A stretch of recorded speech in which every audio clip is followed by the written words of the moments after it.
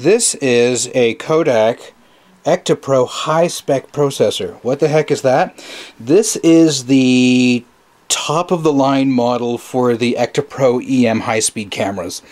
Um, so if this is the low end here, this is the high end. Uh, I I paid about a hundred bucks for this plus shipping. Maybe all in it was about two hundred bucks, which is a lot of money for something which doesn't work. But honestly, this here was, I could basically consider this free. I wasn't after this. I was after this cable that came with it. This is 75 feet of cable. Good luck finding either of these connectors for 20 bucks. And then have fun with this 70 conductor cable that's probably all shielded in coax. Like, just forget it. So I'd rather spend a whack of cash to buy that cable pre-assembled. And this comes in for free well, okay, reality, I got a discount on this here. It was like a hundred bucks total plus shipping, which I think was probably like 60 bucks or something like that. Um, anyways, the reason I got it for cheaper and because it doesn't work is because the seller went to go test it after I requested this particular one. It had an AC connector here that was square, and he said he turned it on and the light briefly turned on, then went out. And so as a result, he can't guarantee that it works, so he was just going to throw it away. I was like, no, no, no, no, no, no, I don't care. Like, I can use the boards in this to possibly upgrade this. Um, or there's a possibility I could actually be able to fix it. But sure, like, if you give me a discount on this, like, I'll buy it still. And he's like, all right, sure, but I'll double check it again. And so I received it like this, no complaints. I am missing the screws off the front of this here, but uh, again, no complaints. So I can see he has been in here. Uh, we've lost a fuse holder. We've lost a little bit of wiring. And I'm assuming that's the AC in there right now. Uh, so I'm going to attach AC power to this and uh, we'll see what it does. Okay, so now that I have it on its side, I can just twist it open a bit more here. So our two fuse holders here would have connected to there. And then we have on that side of the switch, it would have gone to the plug. So that I'm aware of, there's an IEC connector you can get for this. Or you can get a square latching AC connector for this. That's four pins. Or a DC circular connection, which I think works between 24 and 48 volts and has a whole different power supply in here. Um, because this is square, I'm pretty sure that this is not a DC power supply. And it also says right here as well um, that this is AC. So um, I'm fairly confident if I hook up AC up to this. I mean, he's already done it. It hasn't blown up. It doesn't. It doesn't smell like it's blown up. So I think we're on track to something here. Safety officials hate him. This one simple trick gets you electrocuted as easy as one, two, three. Now I, I have trust in my um, cheater cable here. But anyway, so that's set up. Let's turn it on. I should be using the foot pedal with this. Hey, that actually sounds like it's working. Is the light on?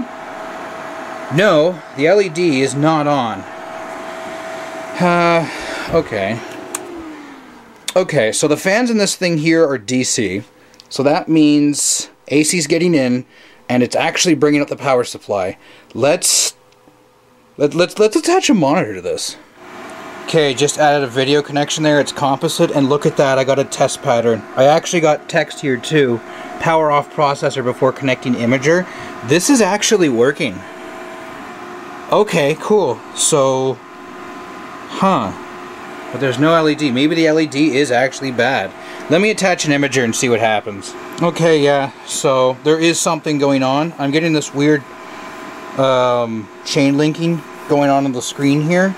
Uh, the remote, the, connect, the keypad's connected, and it's stuck in system initialization in progress. So that means this is powering up. I don't think it's communicating with the imager. And Tesla 500 did the same thing as I'm doing here now, so that should be fine. Unless it really is.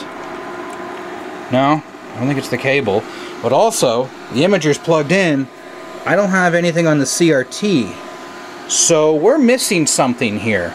I don't have power to this. This is not responding. I have no LED there. It definitely feels like we're missing volts here somewhere. Should turn this off before things start to go explodey on me. Alright, uh, let's see if we can figure out where that LED goes. Okay, I just have some test leads touching onto the LED there. No volts. So, whatever powers... Turn that off.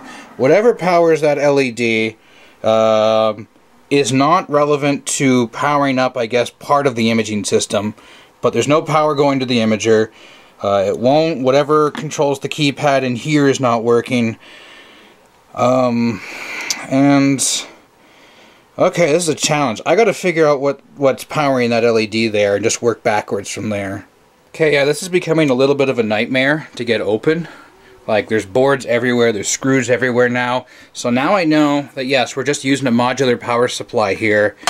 Uh, oh, God, like the whole back had to come off of this thing. Not fun. But now I can figure out what's going on. So the LED doesn't go directly to the power supply here. Uh, I did check it. It is actually a good LED. Uh, it's the yellow and black wire there, not to be confused with the yellow and black there. And it runs along the harness, goes past here. One of the yellow and blacks hides back here, but the one we're after is here. And it goes into this connector here. This resistor here then goes across to positive 12 volts. And one thing I'm noticing here, there is an awful lot of tantalum on this as well. So, okay that that that may explain why it briefly turned on and went out. Uh, it could be that there's something on the 12 volt rail that's shorted. I know it's not as simple as this board here has a short on 12 volt, so I have the multimeter attached and uh, we're about 1 mega ohm and going down that could very well just be a capacitor, but that's still, we're actually dropping a fair bit here, that's still pretty high, that's fine. So it's not this board. Okay, so I figured out that the red wire goes in here and it goes into the back plane. And there's another red wire right here which then snakes back up and that's what goes to the power supply. There's our red wire right here. So here's ground, one rail, ground, one rail. There's our 12. Uh, oh wait, sorry, no, yeah, ground, one rail, ground, one rail, one rail here, ground, uh, one rail, ground, ground, and this is probably going to be 5 volts. All of the grounds are currently tied together. So the color coding's good. Um, and I've beeped this out. So yes, there is a path from here up to there. Now I need to see if I can separate the power supply from that connector. Uh, and that's proving to be a challenge. Um, the screw terminal here, I can't reach it with a screwdriver. This one here, kind of the same ordeal. Um, if I can get a screwdriver, yes, okay, there's holes right here, so I'm betting you if I pull this out of the way again, I can actually get a screwdriver up and get that out. Alright, so I was able to get that terminal loose. There's the 12 volt line disconnected. So, it's just the multimeter now attached. And check this out. I turn it on. 12 volts. So that then means either with no load, power supply is not failing, or more than likely, uh, our failure is going to be on the harness. Actually, what is our resistance? It's infinite. Okay, it's actually more like a thousand. But that's significantly better. Okay, so that's definitely going to be it probably. Yeah, if I just go with that there to ground. 3 ohms. So, alright, let's go from there. I'm putting this panel back on because for now I don't really need to have it off, but check out this evil thing. These nasty petrified rubber feet. I don't see a screw thread in there or a screw head in there, and yet, yep, they are screws. Oh, you dirty, dirty, dirty person. Damn you, Kodak. So the plan here is I'm going to keep the multimeter on like it's okay the wire is a little bit loose here but you get the idea. Like it's it's still high enough that it beeps. That still doesn't see yeah it went back to 1 ohm there so that's no good. So the plan here is to simply start taking wires out and start pulling boards and hopefully the short's on one of the boards and eventually I'll just pull out a board and this will go up and stop having a direct short, and at which point there, chances are I found where my fault is. Okay, check it out. So I started pulling cabling, and I mean, our resistance got went up a little bit here, but that's just because I was bumping this again. Um, but I was going down to the boards, and then I got to this one here, EMDTC Plus, and I found that when I pulled it out, boom, short's gone away. So our fault is on this board somewhere. Yeah, with that board removed, uh, we're at 500 ohms.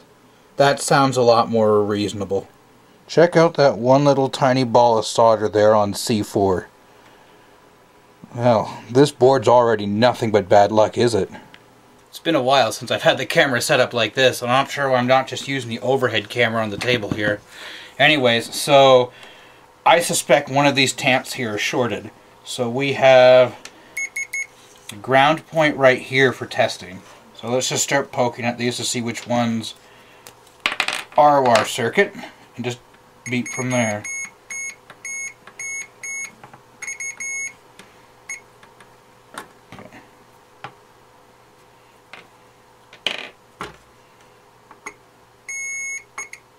Okay, so that's our negative side.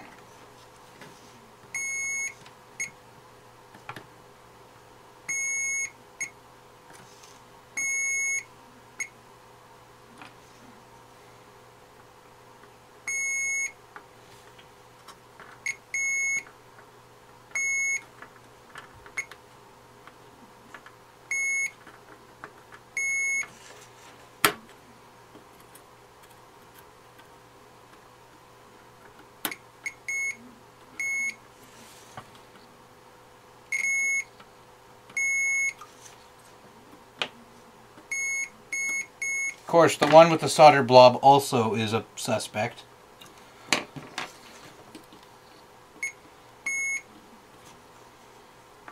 Okay, and are any of these 12s?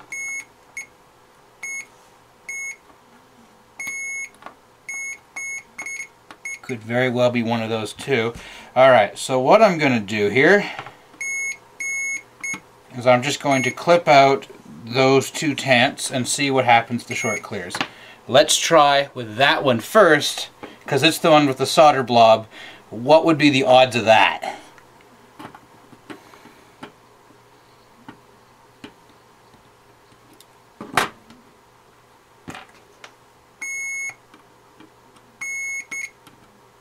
Really?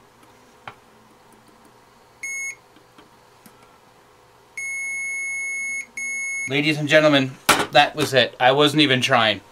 That was the tant. Okay, I'm not sure if that's going to focus. That's just 2216. So I'm pretty sure that's 22 microfarads, 16 volts, polarized tantalum. And this says...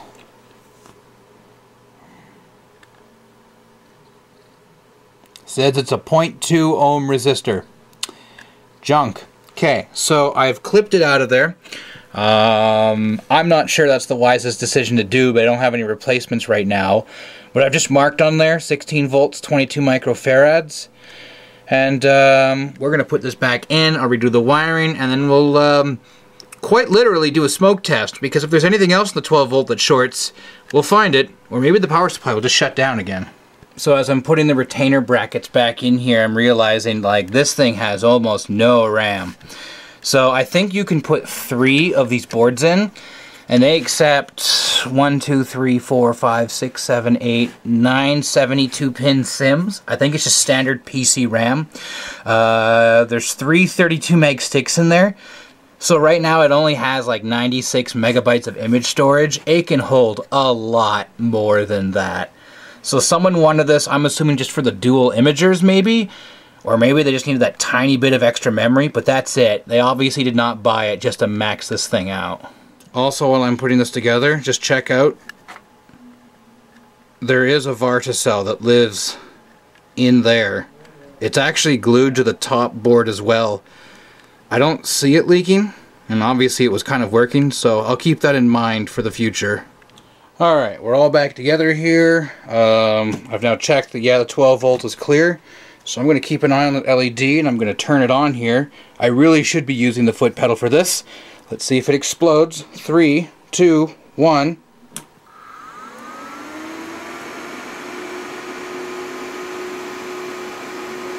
Okay. Nothing exploding.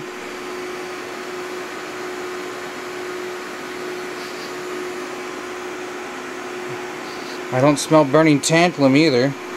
Do a smoke test. No? I think we got it. Let me go plug in the remote. Alright, so check out this interesting turn of events. We no longer have corruption when I have the imager plugged in. And you can see the viewfinder is working now. Check it out. So the imager is actually working, but the image is like very faded and it's inverted. Those are my ceiling lights. These things right here. So this is about the exact same issue Tesla 500 ran into where it seems these imaging heads fit, but they're weirdly incompatible. So that's happy. And when I look at the keypad, oh look, there's no longer saying initializing. Instead it says incompatible software version. Huh, okay. Is that the imager it's not happy with, or the keypad? And yes, as a sanity check, I just kind of plugged in the other imager here. Same cable, same display. Keypad, keypad now works, and if I put this up here, you can see that that all works. So this here is at least all working with that. Okay, well at the very least we fixed this. And I can kind of see an image out of that. So I have something something's weird here, but I can't tell what it is until I can sort a few things out. I'm going to have to talk to a few people and see if I can interchange some parts for testing. But hey, okay, it was as simple as uh, one tantalum capacitor. Easy.